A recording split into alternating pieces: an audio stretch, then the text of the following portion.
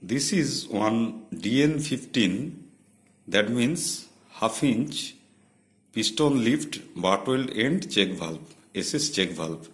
This is check valve body and this is check valve cover.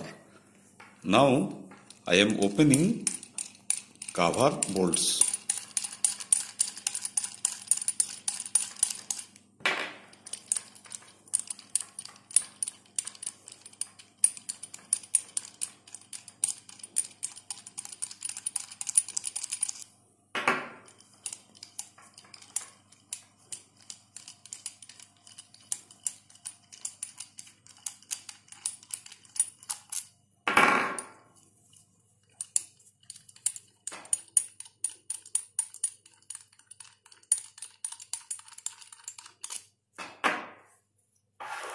I have opened the cover bolts. Now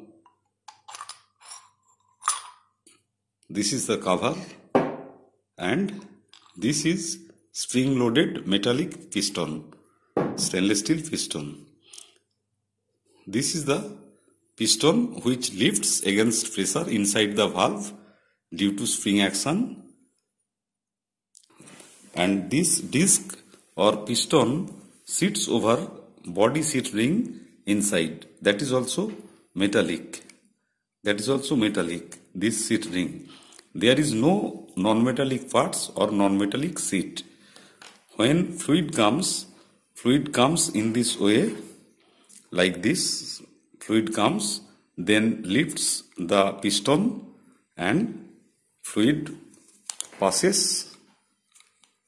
lifting the piston like this fluid passes so this is the piston of piston lift check valve which sits over the metallic seat inside the valve. Now I am placing the piston again inside the valve piston lifts like this against pressure and fluid flows and thus this spring is compressed. Now I am again mounting the valve.